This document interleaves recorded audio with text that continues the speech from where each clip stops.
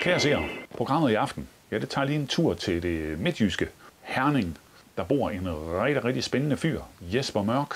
Jeg vil sige, en god ting ved, at det sidder på forsiden af vores kannibalboks, det er, at folk skal i hvert fald ikke komme og sige, jeg troede ikke, det var den type film. Hvad er det, der afgør, jeg vælger en af de film der?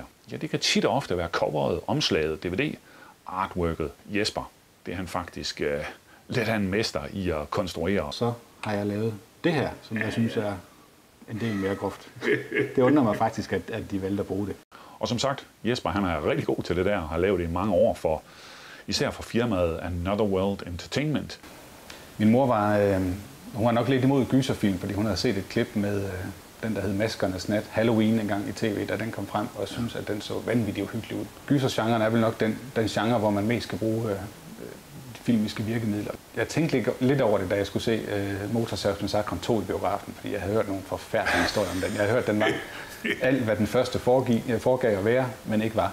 Ja, der får han øh, med motorsaven. Det var noget med at, at spænde godt i kroppen og holde fast i sædet og forberede sig på det værste. Ja. Øh, men jeg synes, det var en fantastisk film. Ja.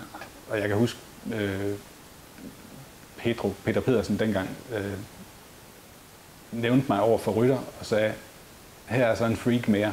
Og jeg ville meget gerne være med på det her blad, fordi jeg synes, det var et fantastisk tiltag, og jeg synes, det var vildt spændende at læse om. Jeg tror, det har noget at gøre med, at, at, at jeg var uddannet i grafiske branche, og, og da, da Kenneth Eriksson startede med øh, at skulle sende de her, de her ting på gaden, så, så var jeg den, han lige kendte. Okay, ja.